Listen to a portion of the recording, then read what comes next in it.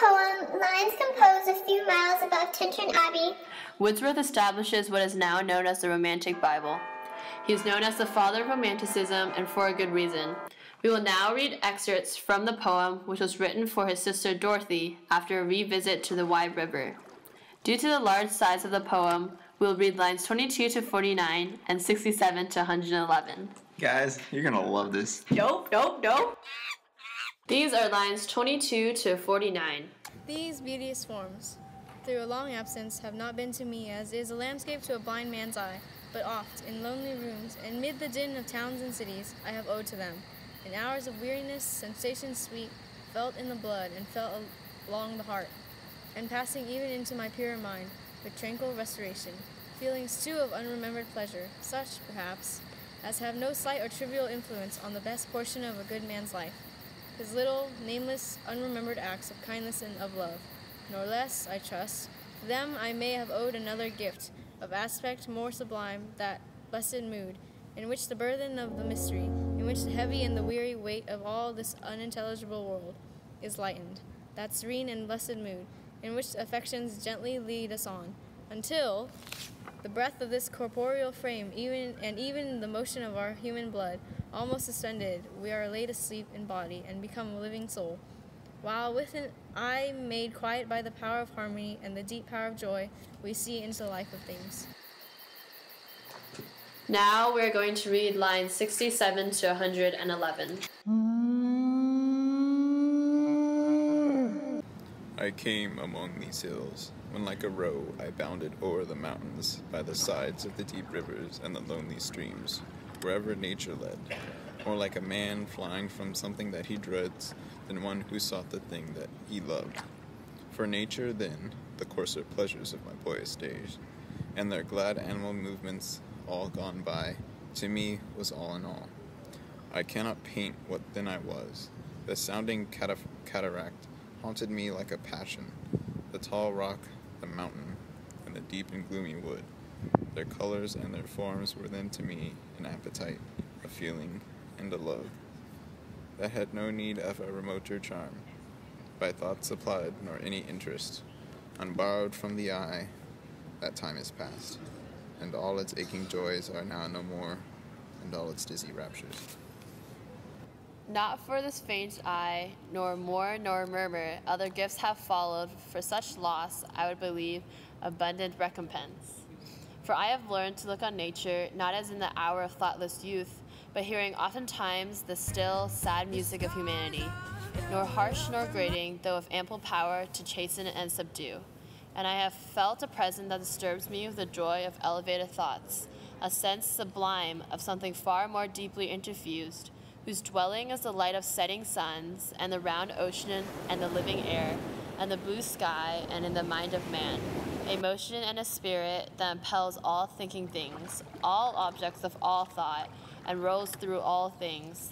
Therefore, am I still a lover of the meadows, and the woods, and mountains, and of all that we behold from this green earth, of all the mighty world of eye and ear, both what they half create and what perceive well pleased to recognize in nature and the language of the sense the anchor of my purest thoughts, the nurse, the guide, the guardian of my heart and soul, of all my moral being.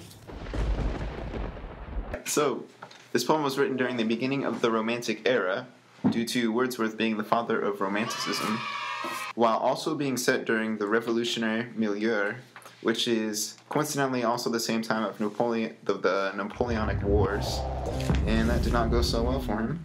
The, the poem turns out to be revolutionary in itself because it was a rebellion against the contemporary attitudes and behavior due to the simplicity of the poem, in contrast to the Enlightenment thinking that preceded the time period. This poem can also be described as a kind of romantic Bible, but Wordsworth also used it to convey his belief in pantheism, which is the idea that God exists in all things, with the main elements of God, the human mind, and nature.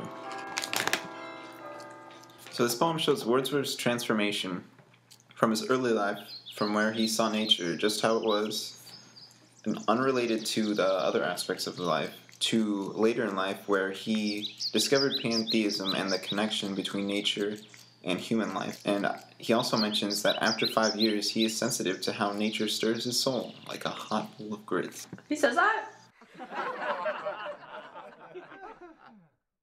The poem is split into paragraphs rather than distinct stanzas, which is following the form of a letter, an actual letter, because it has enjambed lines and flows naturally. You know what else flows natural? Yeah. The beginning of the poem is Wordsworth's description of the area after not seeing it for five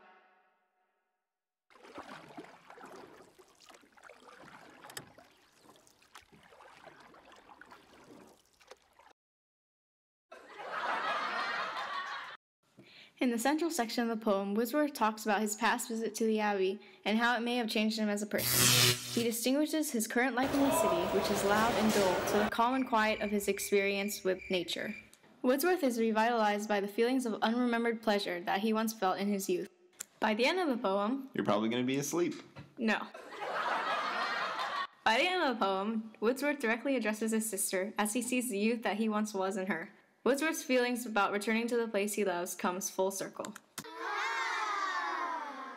The romantic characteristics most present in the poem are nature, feelings, the past, and the supernatural. Nature is infused into the poem as it is present in almost all parts of the poem, and the author professes his love for it. He also makes his feelings known by recounting how he could not survive without remembering the feeling of nature while he dwelt within the city. The characteristic of the past is seen through finally realizing the idea of pantheism. And lastly, the supernatural is the last aspect of romanticism found in this poem as it reflects the spiritual ideas and philosophy that Wordsworth espouses during the poem.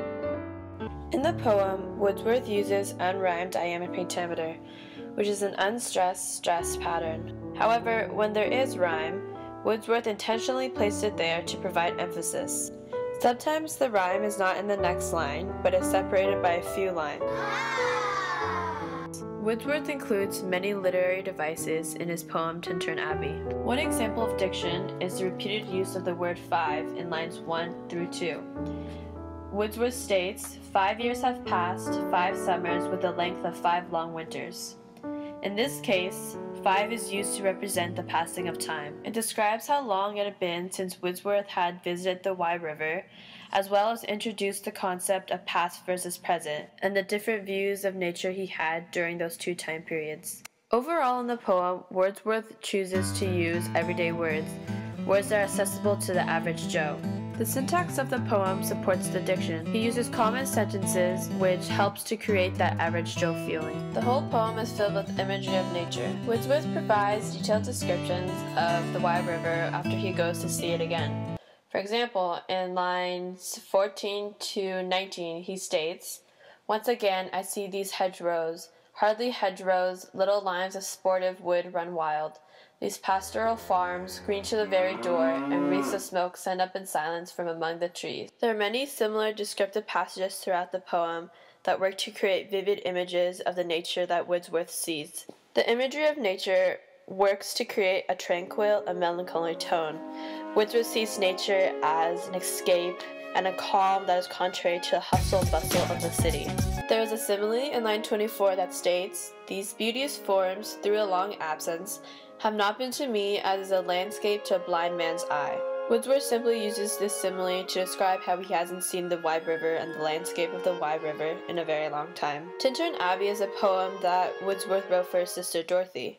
Dorothy represents Wordsworth's youth and his past self that had not discovered pantheism yet. By using Dorothy, he provides another example of how pantheism has changed his view of nature. Since Tintern Abbey is written with basic language, there are not many other complex literary devices. Like rhyme, when there is a complex literary device, it is used to provide emphasis. Wordsworth wants the poem to be everyday language, since it is a romantic poem which were often written as a reaction to the Age of Enlightenment. To sum up, Tintern Abbey is a poem by Wordsworth that is like the Romantic Bible. The poem contains almost all the basic characteristics of the Romantic age. This whole poem is about Wordsworth's discovery of pantheism and how God exists in all things. This concept becomes a sort of religion for him and he uses it in all his future poems.